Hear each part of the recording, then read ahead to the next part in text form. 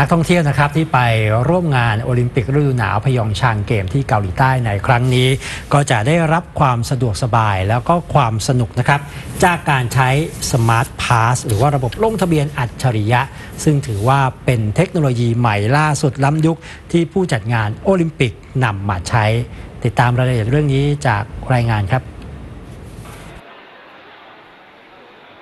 นักท่องเที่ยวใช้ iPad ถ่ายรูปตัวเอง และกรอกข้อมูลส่วนตัวลงระบบ เพียงเท่านี้ก็จะเป็นการลงทะเบียนในบัตรผ่านเข้างานอัจฉริยะ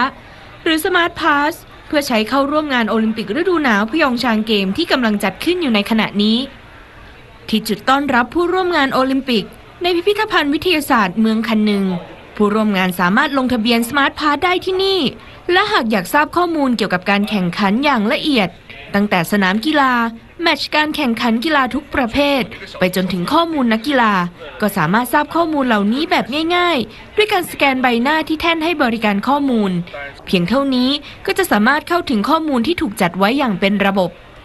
นอกจากนี้ยังเป็นการอำนวยความสะดวกต่างๆ ไม่ว่าจะเป็นการหาโรงแรมในพื้นที่ใกล้เคียงกับการจัดการแข่งขัน หรือรับตั๋วออนไลน์เข้าสถานที่ตต่างๆ ผ่านโทรศัพท์มือถือ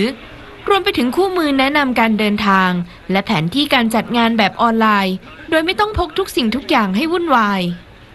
ทั้งนี้บริษัทที่ดูแลระบบลงทะเบียนอัจฉริยะ คืออาลีบาบาทำงานร่วมกับทีมโครงการ Smart Pass โอลิมปิกโดยผู้จัดโครงการดังกล่าวเปิดเผยว่า เทคโนโลยีสุดอัจฉริยะเช่นนี้ จะไม่ได้เกิดขึ้นเฉพาะที่นี่ที่เดียว แต่โอลิมปิกฤดูหนาวครั้งหน้าที่จะจัดขึ้นในปี 2022 จะมีการใช้เทคโนโลยีที่ล้ำหน้ากว่านี้อย่างแน่นอน 会把这款产品作为我们给科技奥运作为的其中的一个礼物之一，会跟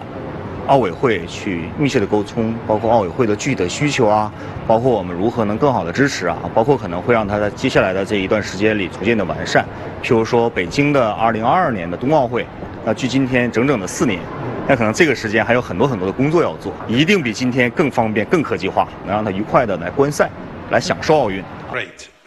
ด้านประธานคณะกรรมการโอลิมปิกสากลมองว่า การร่วมงานกับอาลีบาบา ถือเป็นประโยชน์กับงานโอลิมปิกเกมอย่างยิ่ง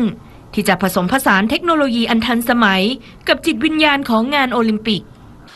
And in this way, to catch uh, the light of a new era, uh, the light of uh, digitalization, and uh, there uh, we can uh, al- already see uh, great progress uh, uh, being made,